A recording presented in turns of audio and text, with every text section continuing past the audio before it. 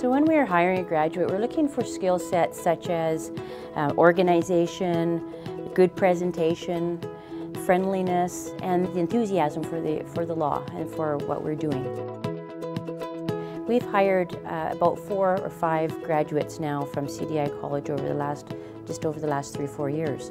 And we've had very uh, good results with them and we know that they've been trained well. We know that they've been trained in a more practical aspect. The uh, quality of education and instruction has been very strong at CDI. We've found that students here are well trained and prepared for the uh, workforce before they enter it.